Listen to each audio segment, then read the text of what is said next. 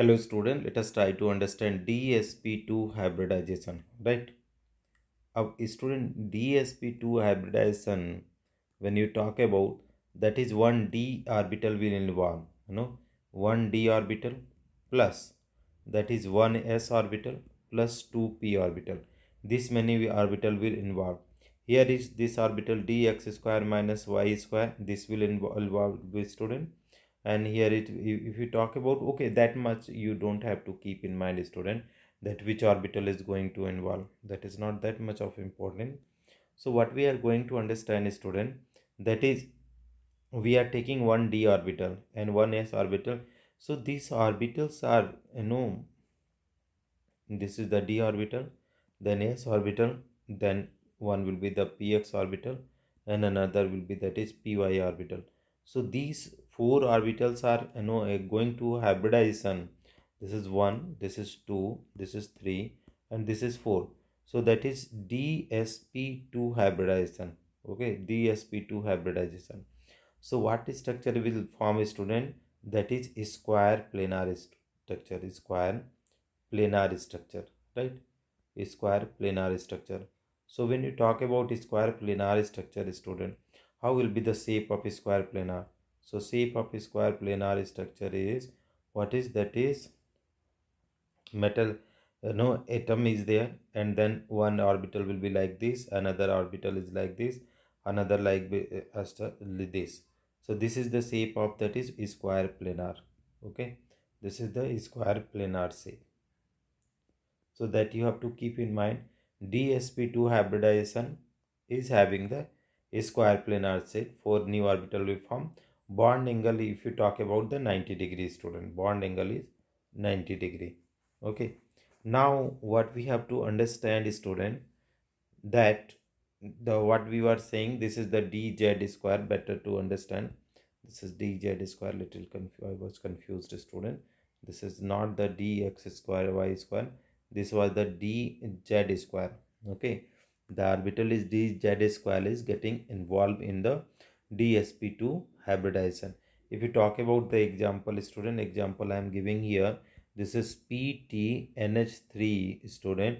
This is the twice and this is cl2 so if you are doing the structure student so pt will be like this student. Then here will be the nh3 will be there. Here is nh3 will be there and this is cl and this is cl okay. So this is the square planar.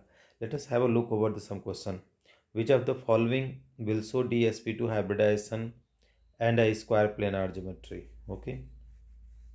So DSP2, so hybridization is equal to I already explained student 1 by 2 you know that is B plus M minus C plus A. So C plus A. So valence electron B means valence electron how much sulfur 6 monovalent 6 minus 0 plus 0 no cation no anion so 12 by 2 that is 6 is coming. So sp3 and d2 so this is the sp3 d2 octahedral student. Brf5 so brf5 if we talk about for this one so 1 by 2 in bracket 7 plus 5 so how much coming? And cation and anion is what is the 0 plus 0 so that is again coming 6 student.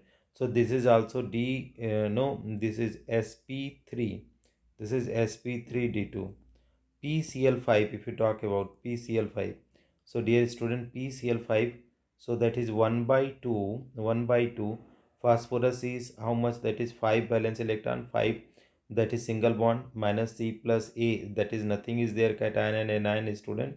So there 0 that is 10 by 2 10 by 2 means 5 this is the sp3d so this is how much? 31415 sp3 so this is all this is the sp3d we need a d2 sp3 nicn4 if you talk about student.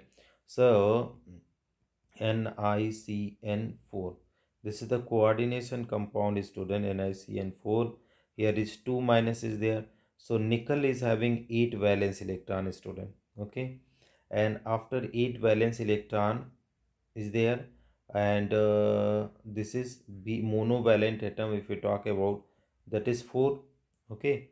So 1 by 2 8 plus 2 uh, 9 is there. So minus 2 is student. So no 2 balance that is minus 2 we have to take with the sign.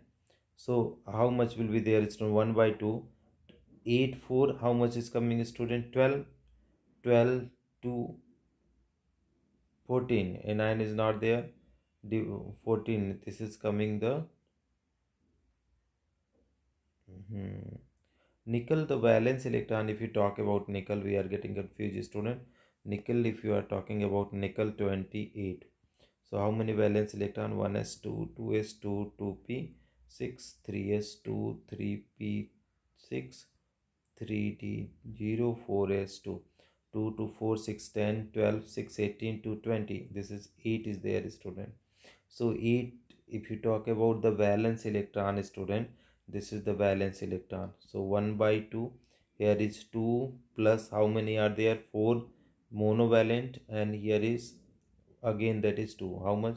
4 to 6 to 8 so dear student it is coming 8 8 by 2 that is 4 4 means two condition is there Uh, tetrahedral but but d orbital is involving student transition metal. So d okay. No this will be our dsp2 and dsp2 hybridization this is a square planar. So here is this will be our answer. Dsp2 four new orbital. Now the rule for the determining how the coordination number central little no these are the rules are there. That is not too much important student why why is dsp2 hybridization square square planar? The dsp2 hybrid orbital are inner orbital complex in which the electron get paired up due to presence of a strong field ligand so the electron pairs of the ligands occupy one d orbital one s orbital and two p orbital in a square planar geometry. Dsp2 hybridization is seen especially in case of transition metal ion the orbital involved in this type of hybridization is some book they are given dx square minus y square but and some book they have given dz square student. So depending on situation you can answers accordingly. You can verify the answers. Some books they have given dx square minus y square and some book dz square. The 4 dsp2 hybrid orbital adopt square planar geometry. The complex nicn42 minus involve this type of hybridization how is dsp2 uh, hybridization calculated DSP2 type of hybridization is seen especially in case of transition metal ion. The orbital involved in this type of hybridization is dx square minus y square s. The 2p orbital, uh, no, if the compound undergoes reaction which is strong ligand, then DSP2, DSP3, D2, SP3 hybridization also occurs. So, these were all about the DSP2 hybridization student. Thank you so much for watching.